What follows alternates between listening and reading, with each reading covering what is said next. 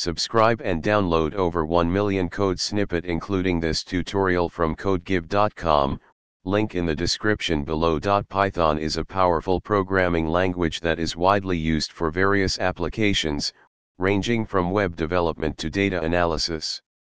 In this tutorial, we'll walk through the steps to run Python on the command prompt in Windows 10.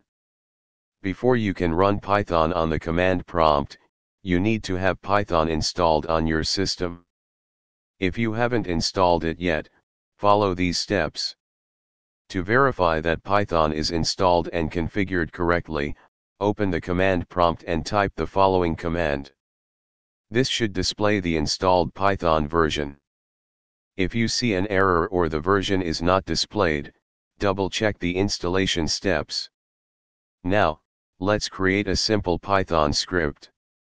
Open your favorite text editor, example notepad, Visual Studio Code, and enter the following Python code. Save the file with a .py extension, for example, hello.py. Navigate to the directory where you saved your Python script using the cd command. For example, now, you can run the Python script using the following command. Replace hello.py with the name of your Python script if it's different. You should see the output. Congratulations!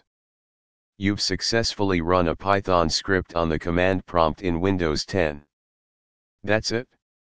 You are now ready to run Python scripts from the command prompt on Windows 10. If you encounter any issues, double check the installation steps and ensure that Python is added to the system path. ChatGPT